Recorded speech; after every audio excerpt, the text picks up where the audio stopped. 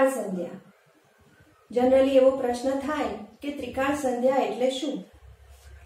શાબ્દિક અર્થમાં ત્રિકાળનો અર્થ એકવાર સમજી બી જાય કે ત્રણ કાળ, ત્રણ વખત. પણ સંધ્યા એટલે શું? સંધ્યાનો સીધો અર્થ તો સાંજ લોકોને સમજાય છે. પણ સંધ્યાનો બીજો અર્થ છે પૂજા. ત્રણ વખત કરવાની પૂજા. આપણા ઋષિ મુનિઓએ એક આપણને એવી સિસ્ટમ આપી કે તમને વધારે નહીં, પણ આખા દિવસમાં ત્રણ વખત ભગવાનને યાદ કરો. એને થેન્ક યુ બોલો. એક આપણું ગ્રેટિટ્યુડ ફિલિંગ વ્યક્ત કરો. તો સામે એ પણ પ્રશ્ન આવે કે ભગવાનને થેન્ક યુ શું કામ? દેખાતો નથી, મને કશે જ નથી દેખાતો, તો એને થેન્ક યુ બોલવું શું કામ? કારણ કે એને જે આપણા શરીરની જે રચના કરી છે ને, એમાં આંખ રૂપી કેમેરા આપ્યા કાન રૂપી રિસીવર આપ્યા, ચામડીનું કવર બનાવ્યું અને હાર્ડ ડિસ્ક મૂકી આપણા દિમાગમાં, જેના એમબી જીબી હજી લોકો આઈડેન્ટિફાય નથી કરી શક્યા. એટલી ઈ બ્રેઇનની કેપેસિટી છે. હૃદયરૂપી એન્જિન મૂક્યું અને લાલ લોહીનું ફ્યુલ બનાવ્યું. જે આપણા શરીરમાં અવિરતપણે દોડ્યા કરે છે અને આપણને એનર્જી પૂરી પાડે છે. તો આટલી પરફેક્ટ સિસ્ટમ બનાવવા વાળા ભગવાનને આપણે એકવાર, બે વાર, ત્રણ વાર એટલું તો થેન્ક યુ બોલી શકીએ. આખી સિસ્ટમ આપણા શરીરની એટલી પરફેક્ટલી કામ કરે છે કે કોઈ પણ એમાં મિસફંક્શન નથી થતું. તો આવા જનરેટર ઓપરેટર અને ડિસ્ટ્રોયર એવા ભગવાનને દિવસમાં ત્રણ વખત યાદ કેવી રીતે કરવા એ આપણે હવે જોઈશું.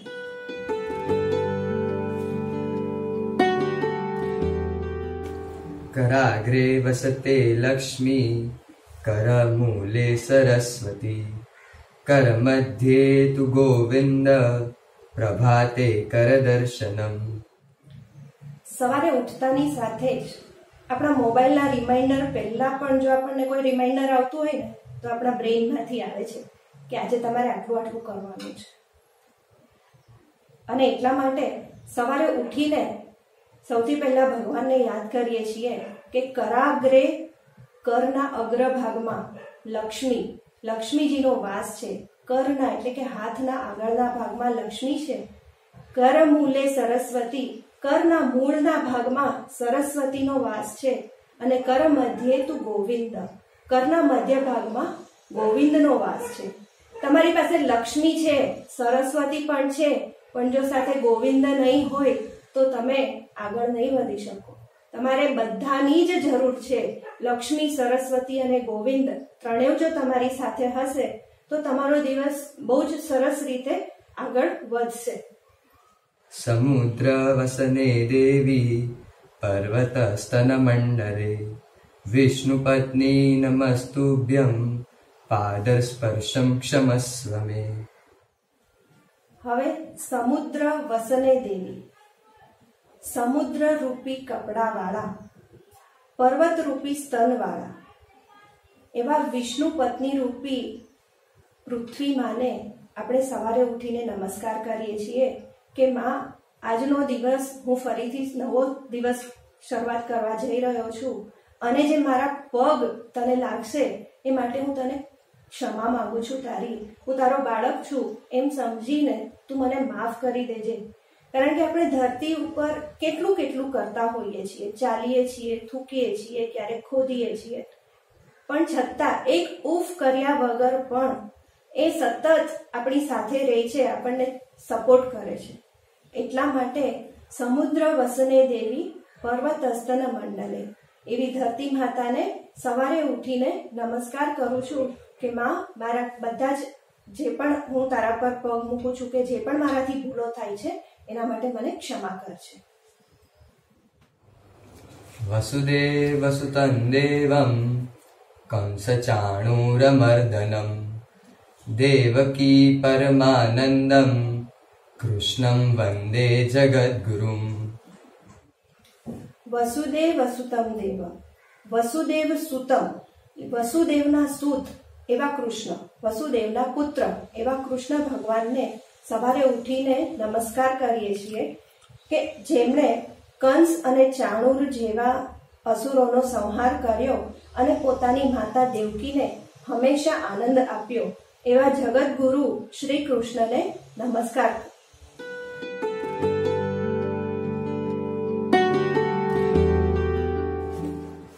यज्ञशिष्टासिनः सन्तो मुच्यन्ते सर्वकिल्बिषै भुञ्जते ते त्वगं पापा ये पचन्त्यात्मकारणात् यत्करोषि यदस्नासि यज्जुहोषि ददासि यत् यत्तपस्यसि कौन्तेय तत्कुरुष्व मदर्पणम् अहं वैश्वानरो भूत्वा प्राणिनां देहमाश्रितः प्राणान् पानसमायुक्त पचाम्यन्नं चतुर्विधम्।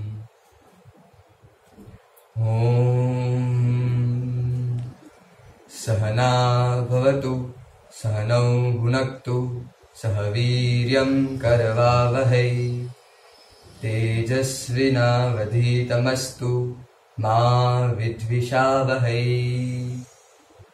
ॐ शान्तिः शान्तिः शान्तिः ભૂખ લાગે અને ખાય એ પ્રકૃતિ ભૂખ ન હોય તો પણ ખાય એ વિકૃતિ અને ભૂખ હોવા છતાં પોતાની ભરેલી થાળી બીજાને પીરસી દે, એનું નામ સંસ્કૃતિ. અને આપણો ભારતીય સંસ્કૃતિનો આ વારસો લઈને આપણે જન્મ્યા છીએ, તો એ સંસ્કૃતિને આગળ વધારવી એ પણ એક આપણું કામ છે. આપણને જે જમવાનું મળે છે, ભગવાન કહે છે, એને તું મારો પ્રસાદ સમજીને આવો. આપણે જે કાંઈ પણ ખાઈએ છીએ, કોઈ પણ કલરનું અનાજ ખાઈએ છીએ ઇન્ડિયન કોન્ટિનેન્ટલ યલો બ્લુ બધા જ કલર. પણ છેલ્લે એનું લોહી તો લાલ જ બને છે. જે પણ આપણે ખાઈએ, એની ડાયજેસ્ટિવ સિસ્ટમ એટલી પરફેક્ટલી હોય છે કે એનું લાલ લોહી બનીને આપણા આખા શરીરને દિવસ દરમિયાન એનર્જી પૂરી પાડે છે. આના માટે આપણે ભગવાનને યાદ કરીને એનો આભાર માનવો જ રહ્યો.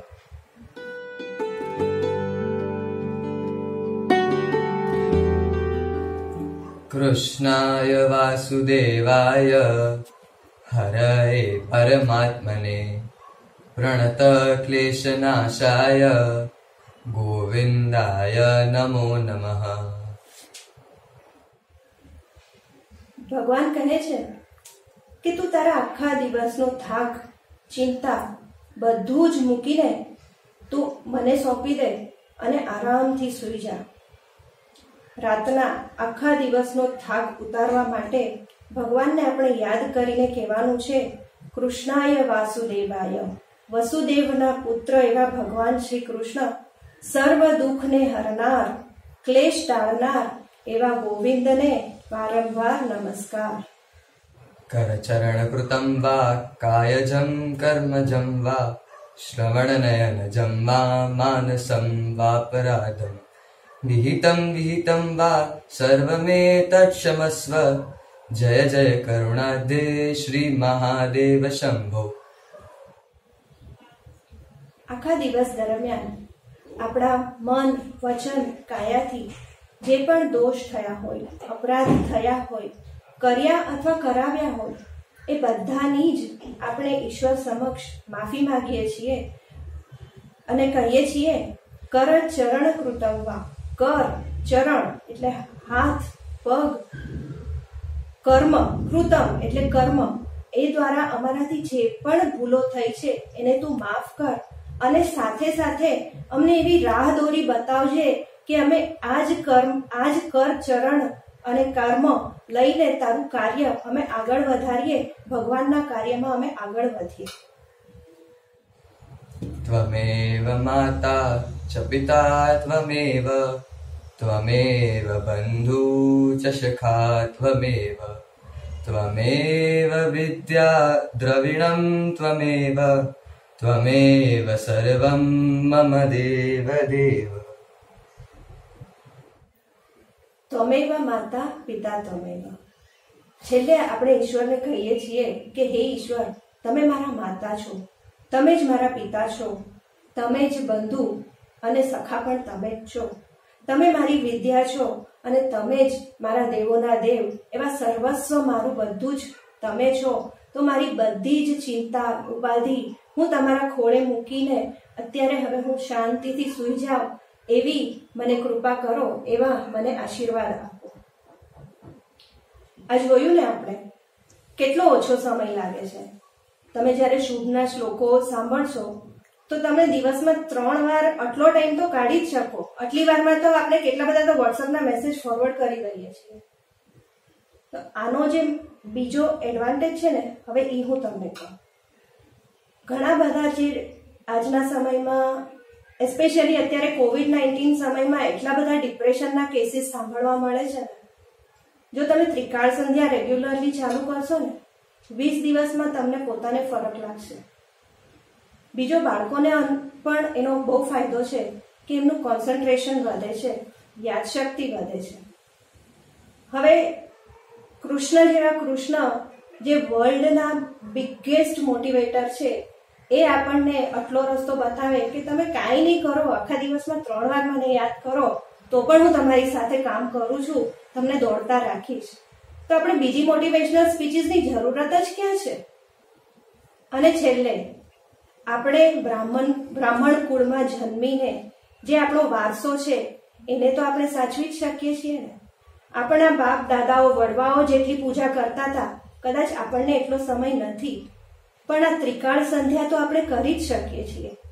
એટલે મારી ખાસ અપીલ છે કે બ્રાહ્મણ તરીકે પણ તમે ત્રિકાળ સંધ્યાને રેગ્યુલર લાઈફમાં અપનાવો અને કરો. જય શ્રી કૃષ્ણ.